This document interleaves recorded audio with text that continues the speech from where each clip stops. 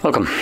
In front of me is a ZTE Blade V8 Lite and today I'll show you how to hard reset the device through recovery mode and also remove a screen lock if you have one that you just for instance don't know.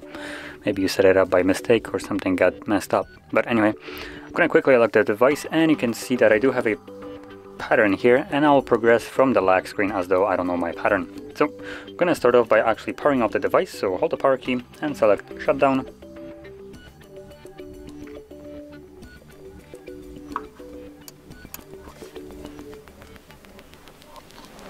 And once the device turns off, you want to hold power key and volume up. So both of those keys at the same time. Now you need to wait for the device to vibrate. Uh, as you've seen, the screen was off for a very long time, but the vibra vibration of the device uh, signifies that it's now completely off. So once you feel it, hold power key, volume up,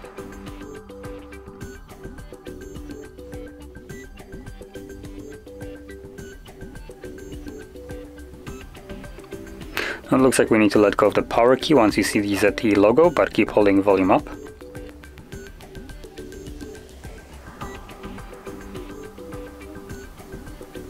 And there we go. As you can see, this puts us into recovery mode. So in here, we will need to use volume keys to navigate. So volume down will go down and up will go up. And you want to use those to select wipe data, factory reset, confirm it with power key, and then select yes which actually was selected by default, power key, and I guess now we need to scroll down yes to delete all data.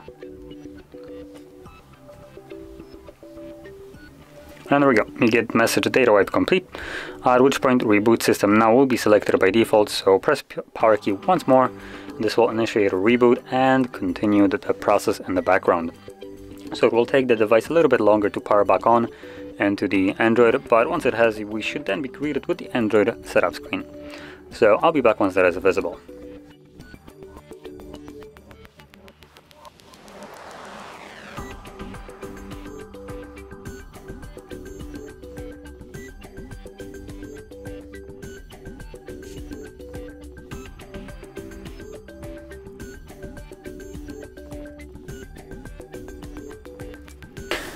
And as you can see, the process now finished and you can set up your device however you like. So, if you found this very helpful, don't forget to hit like, subscribe, and thanks for watching.